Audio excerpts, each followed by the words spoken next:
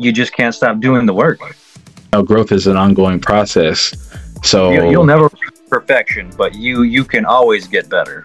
Next next level, and then you're you're sitting at this level for a while, and then something comes up, and oh man, you got to face it. Now you now maybe you're gonna come up here, maybe a little bit more, and you're just gonna keep doing that, and pretty soon you're you're you're at a place where people are coming to you for advice on enlightenment and I've had some people mention to me, they said, Oh, you know, your energy seems so bright and you seem, you know, like very wise and all this stuff. And I was like, Well, you know, it's not just I didn't just get that way, you know, it's it's a lot of it's work, you know. It's actually it's it's just like just like you have to, you know, get up and put your shoes on and put your pants on in the morning.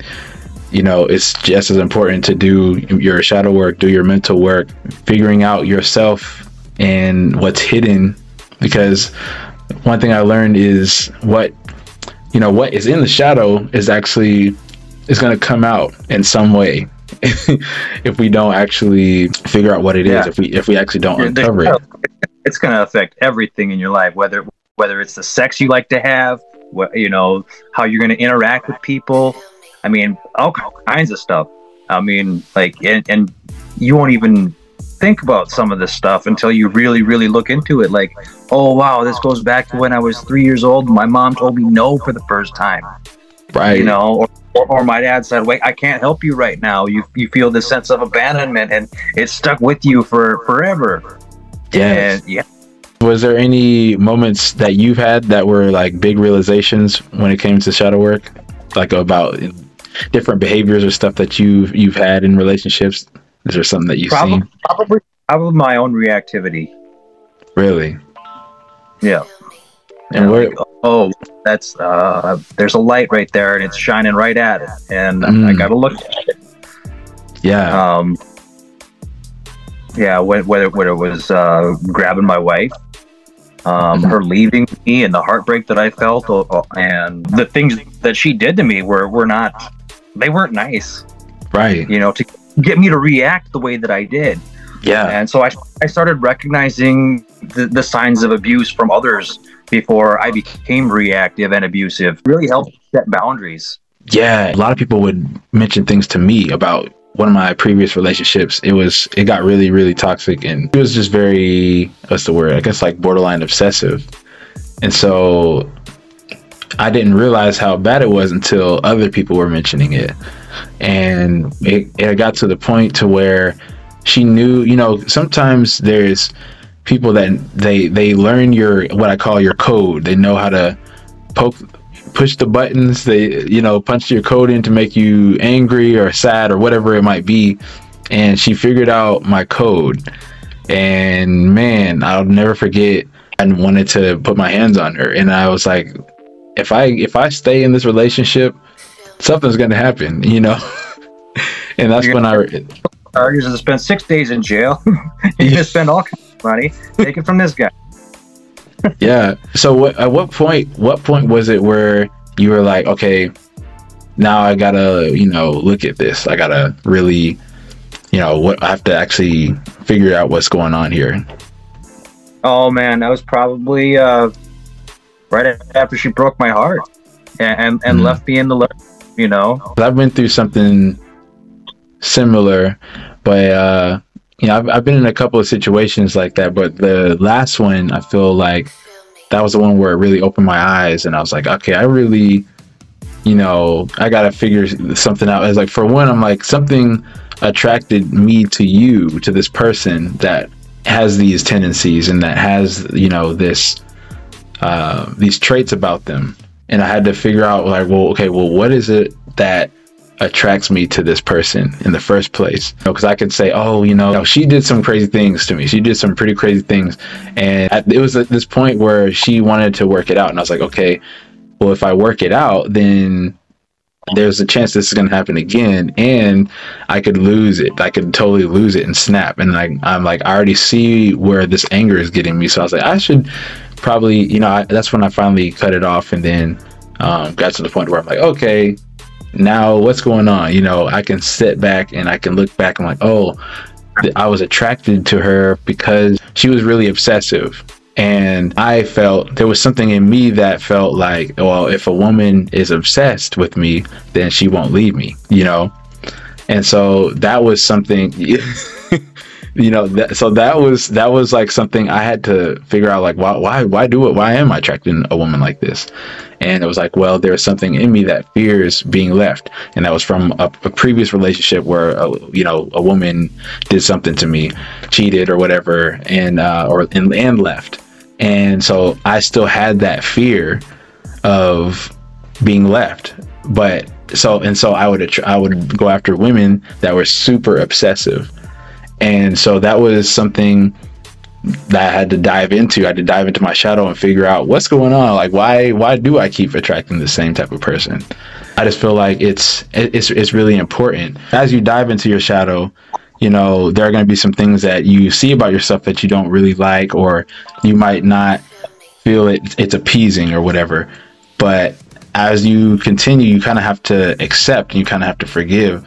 Would you say that forgiveness is one of the hardest steps when it comes to illuminating your shadow and, and doing shadow work and learning things about forgiving yourself. Others, forgiving others is a lot easier than forgiving yourself. You still mm. you, are gonna, you know, guilt. Yeah, and that's, that's self judgment, and I I pretty much live a guilt free life now. You, know, that's awesome because I, I did the best I could do with what I knew at the time. Right. And, and see, I, I like that. I like that statement that you just said. You're doing the best you can with what you had, you know, and I think you know that's that's actually a really good first step to to forgiveness because I mean you you're alleviating that fact that it's like hey I only knew what I knew you know you could only do you can only do better or worse than what you know. Can you share some success stories like after you, after you start to do your work and uh, you start to see improvement? Is there any success stories that you have? So the only real success story that i have about doing shadow work you know i can tell you about what i learned from doing mine mm-hmm. um, otherwise i have horror stories about where people failed like my cousin you know um, but what what i found within me was you know, a big part of of of un- unlocking your shadows is you'll find parts of yourself that are beneficial and and helpful and positive that yeah. you didn't even know you like i i had to go through anger management and and, and all this stuff yeah and i was looking for help before my my relationship imploded i was looking for that help and i couldn't wow. find it wow and that that's kind of what brought me to do what I do now. I'm I'm done being a carpenter. I'm I'm I'm just out here to help people now. Yeah. And so how did that feel in the moment when you know when you didn't really I guess when you didn't know what was going on, like was that was it scary as you're kind of going through this journey? Was it because you're I don't know, I guess it's like uncharted waters in a way. Yeah, absolutely. Um do do I you know set myself down with a psychiatrist and, and, and just talk about my feelings or you know is there is there a magic pill or is, right. is there just something I can do that that I can just stop all this nonsense right. Yeah I think that's what a lot of people look at you know they they try to look in is there an easy way out of this or or is there you know they try to figure out which route. And you know, I feel like there's not a right or wrong route, I guess, you know, to do it, but uh, as long as you do it, you know, and um, because a lot of people try to, I think they try to avoid it because they, I mean, it's uncomfortable. like, let's be honest about what it is. It's it's uncomfortable to uncover your shadow and see things about yourself that you know you you've been suppressing or you know that you don't you don't feel that is acceptable to come to the light. A lot of times it's stuff you don't even know that's there. Right. And, until you're asking yourself those questions. And yeah. even after you ask yourself those questions, you still might not know the root of it. Right. Even if you answer and thought about it for a while and then you you know you shine more light on it just you got to get a brighter light when that happens and you just you're keeping you're uncovering it and you're still having struggles because I know some people will, you know, some people might have struggles and they might not make as fast progress um, as others, or sometimes you, they might not be making progress at all. It seems. Well, so what would be what would be your advice to them if people are struggling with it? Oh man, uh, cry, find your emotions and like release. And feel it, feel it, and yeah, let it go. Uh, you know that that's true. A lot of people don't they don't take the time to feel them. They don't t- take the time to feel their emotions and their you know what what are you feeling right now. Uh, I think a lot of people try to numb it. You know they'll they'll go to you know alcohol or or they'll get addicted to something. You know something they try to. Uh, they'll, they'll use it. For me, it was yeah, I, I relapsed. You know, not too long ago um, because of a relationship that I was in. And then, wow, wow, something's going on here. Right. I got stop this and and figure it out. Yeah. So the relationship, you know, it had to it had to shift somewhere else, and when it did, she dropped out of my life and went on to another relationship and didn't deal with any of her shit. And she, wow, she ended up uh, getting into a relationship where she was uh, battered. Wow. And then she had to deal with, oh my gosh, maybe I should stop doing meth. It's sad, you know, that sometimes it comes to that with some people because what I've noticed is I was with one girl, um, and she she ended up leaving, going for some other guy because she tried some tactics with me and it didn't work, and so she tried to use a manipulation tactic with another guy, and I was like, go ahead, you know. and uh, she ends up in a relationship with this guy, and then he ends up being obsessed to the point of where he doesn't let her go anywhere alone, and he would put his hands on her as well. And you know, it was it was like I would mention to her. There's some stuff that you have to. I'm seeing like I'm I'm not saying this to be you know, point fingers to you. This is just stuff that I'm noticing, you know, and I'm trying to come to you and say, this is what's going on. This is what I see but there was just there, there was a lot that she didn't want to acknowledge and there was stuff that i had to acknowledge about myself as well that you know there's always going to be stuff that comes up with both people but um i feel like acknowledgement is the is the first step.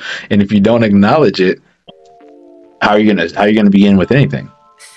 And even if somebody points it out to you you know if they if they didn't ask you what's what's wrong with my life you know you're offering help that they didn't ask for they're, they're not going to find the value in it that you're trying to provide for them. Mm. that's that's why that's why coaching costs money. You know you if you don't if you don't put skin in the game you're not going to take it to heart. And you you know so somebody just giving you free information they're not taking it serious like I, I, can find, I can find that in the bookstore you know what other area because i know shadow work can help you in relationships, like mostly. But are there other areas outside of, you know, just relationships? Absolutely. Like you, you, you'll start feeling better about yourself. You start feeling mm. better about where you work and what you, what you're putting out, and you know, you're, you're just gonna, your, your love jug's gonna fill up from the inside. You'll have a lot more love for yourself. You'll have a lot more compassion for others and when that happens, you you reach this point of wow, that person's going through some stuff. Can I help you out? And a lot of people, yeah, yeah, I I, I need help. Yeah, and that's just something that friends do for each other, right? So if you could reach out to a friend, how you doing, man? It are, are things all right in your life? No, I think everyone needs that because I, I mean, I know a lot of people that just felt like they didn't have someone to talk to or someone to open up to, and you know, because I know, I mean, shadow work, I guess technically is your, you got to do it yourself, but you know, sometimes you just need, I guess, you know, like a shoulder to lean on or just just some support. It's a pretty rough journey, you know, and so you know, trying to do everything and just figure it all out without having people that also understand you or can level with you or kind of understand where, what you're doing or what you're going through. I feel like it can be kind of a lonely road. Yeah, it's a it's a hermetic kind of kind of a process. Yeah. You know, you do go through it alone, but it, it helps if you have somebody guiding you through it. Yeah. And there, if there, if you know somebody that's that's done shadow work, or you can go and pick up a, a workbook on shadow work, and, and and just do it all on your own. I mean, I, I encourage anybody just just to you know delve into yourself. Yeah, I actually just got a book. Uh, I need to finish it, but it's called the the Shadow Work Journal. I got it from Yeah. the from the TikTok store. So I'm gonna start that. Oh, but you said you teach you teach uh, shadow work. So yeah, it's it's actually like one of the first. Le- I might, might might be the, actually the first lesson that I that I have out there right now. Um, because I have I did I did a lesson on on meditation, just a like self mastery. And I just kind of, put it there as kind of a free thing. It might not be up there forever, but uh, shadow work is like my first first lesson. I mean, this is what you got to start dealing with right now. Um, Right. But you're, you're have a meditation practice, so you can you know uh, go into meditation and then a contemplation period. Um, and I recommend meditating a little bit every day, or at least mindfulness, of getting in the present moment yes, and there there are techniques that I that I show people how to do that. There's like a, a do nothing meditation where you, it's just like bringing you right into the present right now, you know. yeah, And I'll, I'll share I'll share a, an easy one. Um, you just you find yourself in your shit, and then you know you're about to flip out, and then you just go, "Do you hear that?" And once you once you hear those words, I mean, your your focus is what's going on in this room. Do you hear that? Was there a noise? right. but it kind of, it brings you to it like brings you right there, Yeah, right? right now. That's that's that's a do nothing meditation. One thing I've understood is meditation is powerful, and like it's like a muscle. I feel like it's like a muscle, and I, that's why I feel like you're right. We should do it every day, because just like we want to, you know, exercise our muscles and go running for to rest, you know, uh, work out our heart. You know, we have to train and and we have to work our minds too. And I feel like meditation is, is one of the most powerful ways to focus on your awareness. And if you can focus on your awareness, that's where everything changes. 'Cause that's when you can pay attention to your intrusive thoughts and you can pay attention to, you know, your patterns or when you can catch yourself. Because the thing is, if we're not, you know, if you're not aware, then you're just kind of really on autopilot doing whatever if you think about it. Yeah, uh, yeah. Another another one is driving. Um, there's something Hmm. about being in Mm, really? that that that helps keep you present. Yes, um, especially if you're driving. If, if, if you're the one behind the wheel, I mean, you you've got to be alert. You can't. You have to. yeah, that's true. So you're. I mean, you're focused on this thing, that thing, and what's going on at home. Yeah. And the, the best thing you can do is is is give up worrying about the future and stop fretting about the past. Yeah. because you, you can't change one. I mean, you can, but you can only do it by being in the present. Right. Like being You're not- here and not not right. The road's in front of you, not behind you, and you can only walk in the spot that you're on. Do you have any advice for people to start focusing more on the on the future? Um, make plans, but don't um, don't develop an attachment to any outcomes because plans plans fail, plans fall through, Yes. and you know any failure, it's just it's just a lesson on what not to do. Yes. That's it, That's it. and that big part of self forgiveness too. Mm, that's a big one. You said it's harder to forgive yourself than others, right? Mm-hmm. Well, it's hard, yeah. Absolutely. Man, well, this is it's been a pretty awesome episode, and um, if if anyone wants to, you know, work with Robert, do you have you have a uh, website or you? So yeah, you can catch me on, on Facebook, Robert Dahl. I'm the dude with the, with the puppy in my in my arms, and uh, on I'm on YouTube, Lakes Country Dude. That's my that's my handle on on YouTube. Lakes Country Dude. Uh, I'll have that in here yeah. too. I, I don't have a lot of subscribers right now, but you know I'm building up on that, and uh, yeah, there's gonna be more content coming out, That's awesome. And uh, yeah, I, I've got a program, and your life over fear. You know, Ooh. stop, stop fearing your life. Yeah. I like that.